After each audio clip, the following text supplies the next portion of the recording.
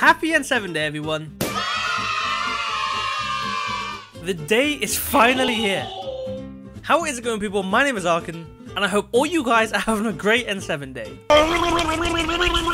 And today, we'll be celebrating Mass Effect by breaking down a post I made for Mass Effect 1. And I literally cannot contain my excitement anymore for this. Let's just get right into it. So we're literally starting this poster just by having a completely blank canvas with nothing in. But what the hell, boy? And because there's fuck all going on in the image, I thought, let's get some other images in here. So I basically just started building up the background first, and after two years and 10 billion credits, we now have a background for the poster. However, the one most important thing about the poster, we don't have. We we don't have any characters, people. What? I, I don't know what to tell you. We don't have any characters at all. There's no one here.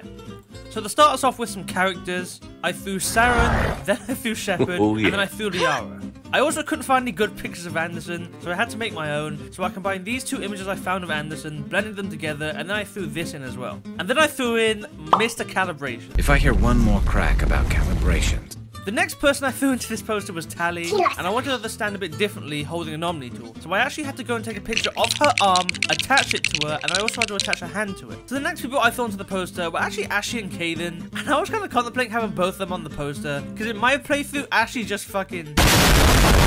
So the next person I threw into the poster was Wrex, ah! and I have no clue at all where the hell he's running. I needed to fill the right side of the poster, so I just threw an explosion in, and then I also threw some Geth in as well. I also threw in the Mako as well. To fill in the space on the left of the poster, I threw in a mass relay, and I also threw in the normal SR1 in front of it. Okay. I also added Matriarch Benezia, and then I also threw in the Destiny Ascension as well. And then finally, to tell us about how insignificant we are, I also threw in Sovereign as well. Fuck you! I then also jumped back to the background and I actually started adding in some stuff that made it look like the light was coming from around the characters rather than the edges of the poster. So we finally start with our first character of the poster, Tali.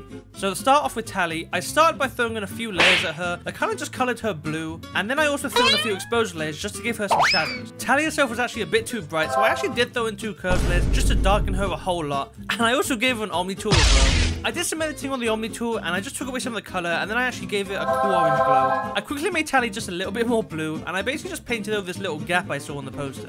And I actually moved to the explosion on the right, and I basically just started blowing up the explosion just with brightness and kind of giving it sort of a glow. And then I was looking at the Geth, and they're, they're just standing there, don't know what the fuck he's pointing at. But they were just standing there, and I wanted to do some more with them. Starting with the Geth Prime on the left. So I first actually tinted the guy the same color as the explosion, and then I also added an exposure layer just to add some shadows in where there wasn't going to be any light hitting him. And then I also threw a highlights layer on him, but they weren't as bright as the explosion, so I threw an exposure layer on top of the highlights layer just to brighten those motherfuckers up. I also painted like a really soft orange haze behind him just to kind of give a more cinematic look to him. I then used this technique again on the really tiny ass Geth next to him. He's really fucking small. And yeah, I basically just did all those things again. Basically just tinting him, adding shadows, adding highlights, and then adding explosion to those highlights. And then believe it or not, we had to do it a third time for the Geth on the right. You didn't have to cut me off! To make the Geth look a little closer to where the explosion was happening, I made a new solid color and I painted a haze over where they were standing, just to make it look like some light from the explosion was coming through them. I wanted to turn on the Geth a little bit more. Oh Report to the ship as soon as possible. Bang, okay? I basically just painted over certain parts where they had glows coming from, so mainly their bodies and their heads. I then jumped straight back to Tali and I started giving her some highlights for the explosion. I also added a glow for her Omni tool, and before I jump back to the background, I quickly painted a few brief blue highlights on Tali. The background I just felt was kind of too dark, it was like a DC hmm. movie. So to brighten it up, I threw a few more layers in there just to brighten it up a little bit. From here, I jumped straight to Shepard. So for Shepard, I was basically just throwing hue and saturation color balance and exposure layers at him, just to kind of tint him into a bluish color. And after that, I kind of tried to achieve this really cinematic rim light effect. And after 10,000 layers of hue and saturation, I finally got a cool glow around it. To beef up that glow on Shepard just a little bit, I did add a hue and saturation and solid color layers to kind of beef it up. And Shepard had this cool like glow coming from the right, but from the left there was pretty much nothing. Bruh. And I had a really cool idea to put something in. So I actually took inspiration from the cover of Mass Effect 1, where there's this orange glow behind him, and I also had the idea to throw that into the poster too. And so with some really, really complex layering, I was actually able to put it in there. I threw an exposure layer behind the orange glow, and then I added the glow to the orange glow to make the orange glow glow. Saren's long ass pointy elf ears were actually sticking out as well, so I had to use a layer mask to cut them off as well. And what I didn't realize is that Saren is now dead. But to make up for the fact that there's now a glow on the left, I added highlights to Shepard and I also added exposure the same way we did for the Geth. Just to add more to the image, I did add a haze behind Shepard to make it look like the orange light is actually bouncing off of him. I also did add some blue haze around him and in front of him as well. And at this point, we jump straight to Saren. Yay said said nobody. No, but for the angry Saren, and he looks so mad about something. I don't know what he's mad at. But for Saren, we started off same way we did with everyone else. We just tinted him kind of blue with a color balance layer. I then threw on a brightness and contrast layer just to brighten Saren up a little bit. And I also added an exposure layer to him just to kind of add some shadows. The next few things I did with Saren, I actually tweaked with his coloring and his shading before I actually added any highlights to him. Saren also had like a little bit of a dip in his head. Maybe that's why he's mad. So basically to fix this, I just made a new layer and I used the clone stamp tool and I basically used other parts of him just to paint over this area. And so basically the same thing we did for Shepard, we did for Saren, but it's reversed. We threw some blue highlights on him, and then we used an exposure lid just to kind of spruce them up a little bit. I also added some orange glows for the orange beam, just like I did for Shepard. I then wanted to give Saren these like blue glowing eyes. You know, he's lost like half his face, half his body's gone. Let's just paint over his eyes as well. So I got a new solid color, and I basically painted really softly over his eyes. I then gave Saren like a really small blue haze before I jumped straight back to Tali. And then I found this image, and I thought it'd be super cool if I threw this over the Omni tool just to give it a bit more of a glow. And after we threw that in, we then jumped straight to Liara, and for some reason, I'm getting neck pain just looking at her. But I then threw a color balance layer on Liara just to tint her a little bit more blue. The only issue with that is that she's really blue, so I didn't even do anything. I then threw an exposure layer in just to add some shadows to Liara. And after that, obviously we've got a highlight. Hey. And then I threw in an exposure layer and another hue and saturation layer just to brighten those highlights up. But you know, to get that cinematic look we're going for, I basically followed this up by painting a haze behind her. And I also painted a soft haze in front of her, just behind the mass relay. And now we jump to Mr. Calibration's Garrus Vakarian. So I threw a color balance layer and a hue and saturation layer onto Garrus just to kind of tint him blue, just like everybody else. I then threw a linear dodge hue and saturation layer in just to brighten Garrus up a little bit. And then I hit Garrus with an exposure layer. I'm sorry, Garrus. My dick fell off! And this was basically just to paint some shadows, mainly for the gun. And then, of course, the highlight. And obviously then I threw an exposure layer in. But I didn't feel like the highlights were bright enough, so I actually then threw in a second exposure layer just to brighten Garrus' highlights up quite a lot. And when everything else in the post was glowing, I didn't want Garrus to feel left out, so I threw in another solid color and a hue and saturation layer just to make his visor glow a whole lot more. And so to finish off Garrus, I threw in two solid colors and I painted a really soft haze behind him. And next we're jumping straight to Ashley. Oh, and shit. I have no clue what the fuck she's even looking at. But I actually immediately got to work painting Ashley, so I basically threw in a bunch of layers on top of her, we go and I then threw an exposure layer and a curves layer on top of her, just to darken her a little bit.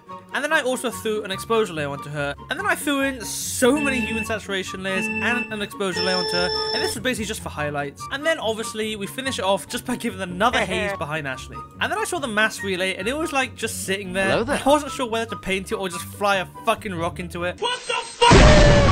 I then threw a curves layer at it, and that was just to brighten it, and I also threw a hue and saturation, solid color, and color balance layer with it, just to tint it blue. And then, obviously, I added highlights to it, and I also added a haze to it as well. I also saw these little, like, lights on the mass relay, so I also decided to light those up. And then for this big-ass ball of energy on the mass relay, I basically just threw in two solid colors and brightened it up so fucking much. I couldn't even see anything on my screen. And then we go to the Normandy SR1. This, this is before it got shit-faced in Mass Effect 2.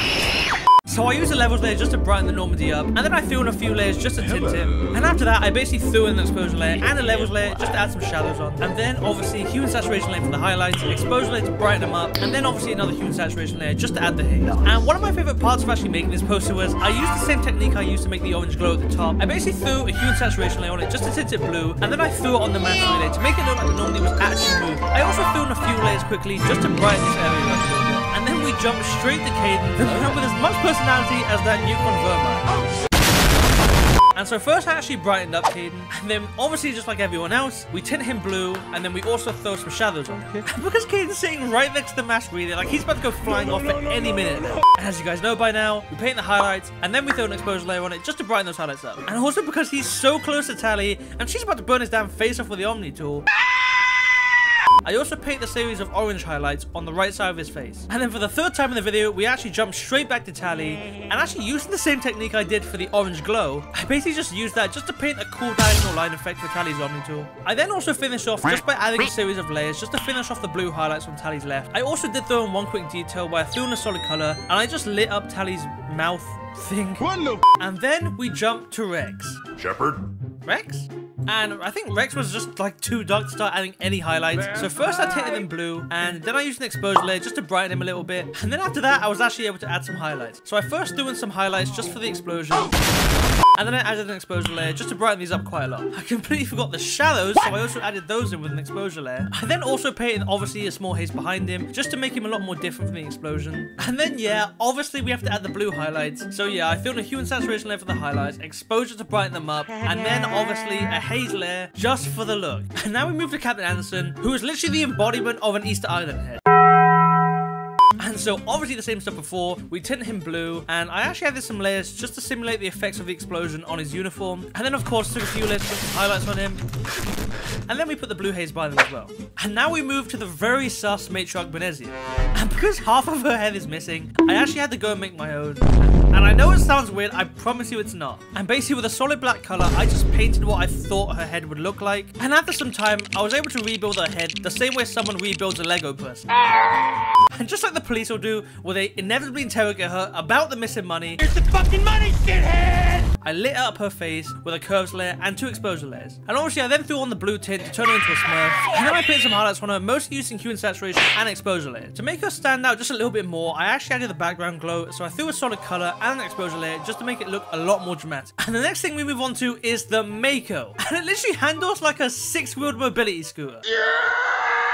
And what I did for the Mako was actually pretty simple. I basically just threw a tint on it, I threw some highlights on it, I threw some shadows on it, and then I threw a haze on it. And because the poster's actually kind of dark, and we're driving out of space, I did actually put the headlights on as well. And then of course we jump to the Destiny Ascension. And I know it looks strange because this is actually a non-canon form of it where the ship actually survived Mass Effect 1 and didn't get blown to shit.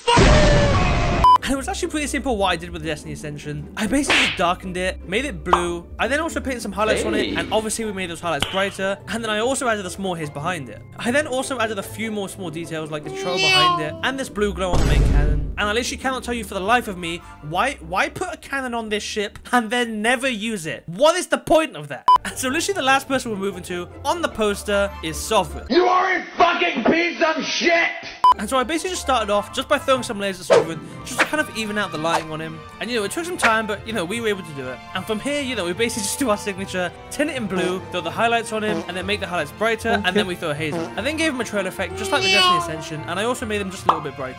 For the last little bit of the poster, I basically just went back to the orange glow in the middle, and I used this image twice to basically just bring out some of the color. And also with the process, it looks like I burned half a Silent's face off. And so at this point at the bottom, I added the words Mass Effect. And so to finally finish off this poster, I threw in a camera roll. So people, we have finally finished our Mass Effect poster. First of all, I'm super proud of this poster. I love it so much. And actually, last year for N7 Day, I actually tried to do this exact same thing. And honestly, it just didn't even look that good for me. I'm just gonna show it right now. It didn't look good. But also, one thing I actually love about this poster is you can actually tell what's inspired by Mass Effect 1. You know, stuff like the Geth, you have the Glow, you have the Destiny Ascension. All of these are actually inspired from the Mass Effect 1 cover art and other artwork I saw for Mass Effect 1. but that's enough for today. Guys, thank you so much for watching. I really appreciate all of you. And you know, shout out to the cast and the crew of Mass Effect. They're all amazing people. But guys, thanks for watching. And if you did like the video, just be sure to leave a like. I'd appreciate that. If you also want to go and drop anything in the comment section below, and I mean reasonably anything. You're a smart motherfucker, that's right. And if you guys also want to go and subscribe to me, for whatever reason, you can also go and do that below. Because I have no idea how to close this out, I'm just going to finish by saying thank you so much for watching, and have a happy N7 day.